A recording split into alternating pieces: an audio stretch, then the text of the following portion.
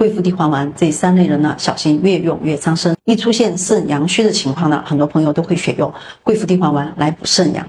但其实呢，这三类人呢是不适合用的。首先就是肾阳虚的同时，体内有淤血的人，血得温则行，血液需要依靠阳气的推动才能运行。如果阳气不足，血液没有阳气的推动，就会越流越慢，慢慢沉积下来，形成淤血。这是体内有淤血，气血运行不畅。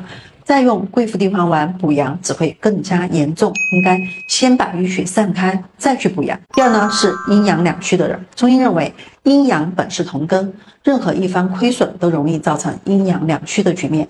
所以这时候不仅会有阳虚，还会有阴虚的表现。比如说口干口渴、手脚心发热、耳鸣等，所以这个时候去补阳，反而可能会加重阴虚。最后，肾虚过久伤及脾阳的人，脾为后天之本，肾为先天之本，他们二者相互影响，阳虚时间过久会伤及脾阳，从而造成脾肾阳虚的现象。